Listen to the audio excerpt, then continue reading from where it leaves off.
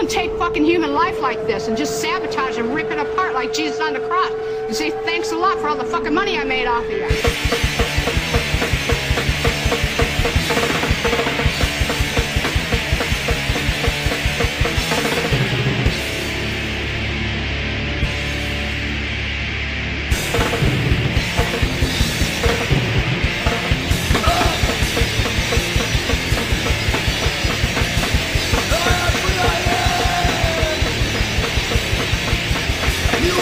You are